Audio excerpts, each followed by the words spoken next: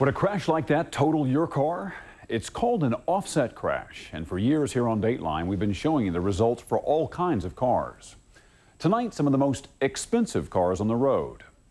At these prices, you're getting the best in style and performance, but are you also getting the best in safety? Here's Chief Consumer Correspondent Lea Thompson with a Dateline Consumer Alert. Ignition switch is on. That is correct. Main power.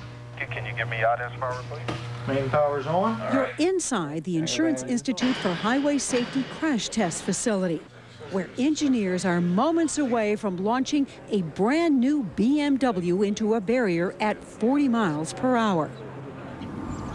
It's the BMW 328i, a $39,000 car that is about to be crushed in a split second. The question this test is trying to answer if this were a real person behind the wheel, would he survive? You're about to find out.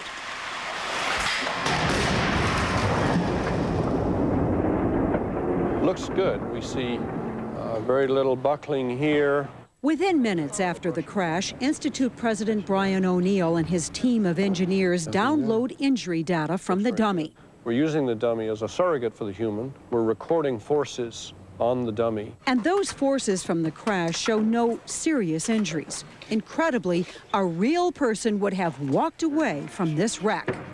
Let's watch it again using the Institute's slow motion films. The dummy went square into the airbag, came back. The injury measures were low. This was almost a flawless performance. This safety cage has remained essentially intact. You see how well it's remained intact. Look at the windshield. How many vehicles have you tested where the windshield stayed almost intact? This is very, very unique. I think it's probably happened one other occasion. I think I can guess the rating. This car got a good rating and a best pick. Best pick. The BMW 328i is the best performer in its class, midsize luxury cars. But there are four more cars left to crash. Luxury models from Cadillac, Audi, Saab, and Volvo, ranging in price from $35,000 to more than $41,000. How will they hold up? We'll show you in a moment. But first, why does the Institute crash cars? Our mission is to find ways to reduce deaths, injuries, and property damage from motor vehicle crashes. We look at human factors, environmental factors, and we also look at vehicle factors. The multi-million dollar institute is funded by insurance companies whose bottom line mission is to save money by reducing the amount of damage claims filed by car owners. All of the cars tested by the Institute, of course, do meet or exceed government safety standards. The government tests cars head on into a flat wall at 35 miles per hour. The force spread evenly across the front of the car. But the Institute test is different. It runs an offset test. The offset crash test simulates what would happen if two cars, each traveling at 40 miles an hour, hit just as these cars, front end to front end, just off center. It's as if you drifted over the center line into the path of an oncoming car. The 40 mile an hour frontal crash that we run represents the severity at which many belted occupants in real world crashes are dying or sustaining serious injuries. The Institute buys all of its cars right off dealers' lots. Dateline has no say on how they're chosen, tested, or evaluated. The Institute rates them as good, acceptable, marginal, or poor. We already showed you the top-ranked BMW 328i. Main battery voltage is...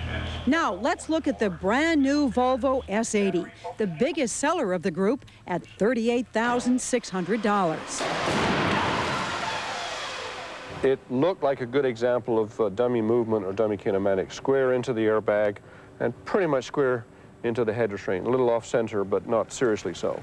No serious injuries to the head, neck, chest, or legs.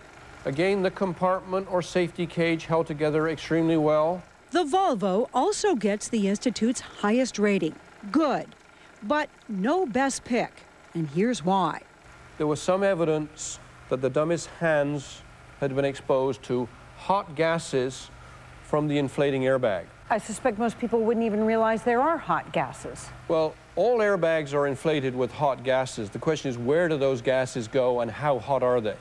O'Neill says additional testing done for the Institute indicates the airbag gases in the Volvo S80 have the potential to cause minor burns on the hands of a real person. In response to those tests, Volvo says it will redesign the airbag for the next model year. The hot gases that we saw coming out here close to a driver's hands, they're going to move the exhaust or vent holes up here so they'll be away from the driver. So here we have the old holes, the new holes. Volvo also says it will adjust the airbag sensors in the S80 after an airbag deployed by mistake in one of the Institute's low speed bumper tests. While there's no fix for either of these problems in S80s already on the road, O'Neill says current owners shouldn't be alarmed. In a high speed crash, if the only thing you get are some minor burns on your wrists, that's a small price to pay. Now the Cadillac Catera, a $38,000 car. Well, first appearances aren't too bad. There's some buckling here, but it's not major. Dummy readings for the Catera also show no serious injuries. We have a little bit more intrusion into the compartment. It's still held together pretty well, but not quite as good as the other two vehicles.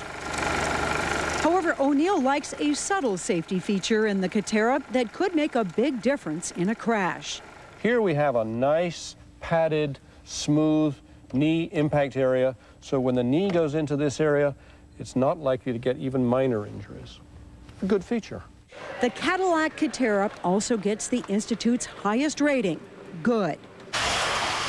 This is the Saab 9-5, price tag just over $35,000. The steering column doesn't appear to have moved very much. That looks like it's stayed pretty much in position, which is good. But a closer look at the dummy readings reveals a problem. How's it look? His right upper tibia looks high. What kinds of injuries are we talking about?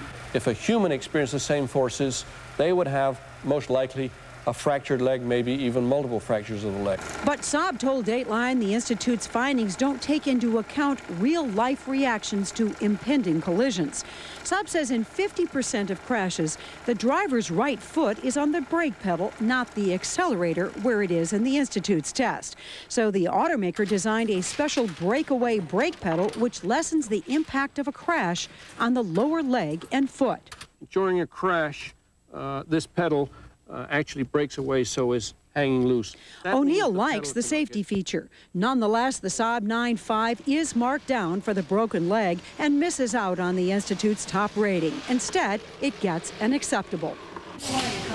The final car in this round of testing is also the most expensive. This Audi A6 sells for more than $41,000. Left foot is twisted a little, but pushed sideways. Dummy readings show possible injuries to both legs in this crash, and the Institute also marks down for potential problems that might be more serious with a different size dummy.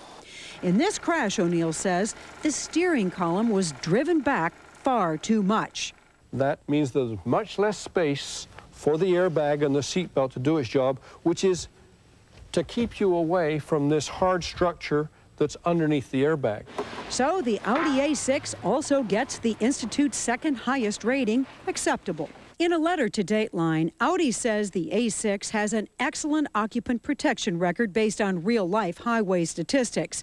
And Saab told us its 9-5 is subjected to over 40 test configurations during development and that Saab occupants have lower than average personal injury rates. General Motors, maker of the Cadillac Catera, says its own internal tests are more comprehensive than the Institute's, addressing a wide range of crash conditions. GM also says the Institute's ratings are based on just one very severe crash test. Is one crash enough to decide how you should rank an automobile? One crash is sufficient in this respect. It is a very good assessment of the way the vehicle will perform in certain kinds of severe frontal crashes. Engineers for BMW, maker of the top rated 328i, say the Institute's test complements its own testing. We think the offset test is uh, very representative of what happens in the real world, and uh, we designed for it. All the cars in this round were rated good or acceptable. But remember, they're all expensive luxury cars. Do you have to spend a lot of money to get safety? Absolutely not. We find good performing vehicles in all classes that we've tested now. O'Neill says the newest safety technology usually appears first in the luxury cars, then gets passed on to the less expensive models. Do you see a day when uh, you will no longer be in the offset crash test business? There's absolutely no question that I can see a few years from now that we will be giving up this test program because we'll reach the point where, if not all, virtually all products will be good performers. That's when we can declare victory. Brian O'Neill says in addition to the Institute's test results, you should also check out the government's before you buy a car. For information from both the Institute and the government, visit our website. You'll find results on all vehicles the Institute has tested, including cars, minivans, SUVs, and trucks. The address is dateline.msnbc.com.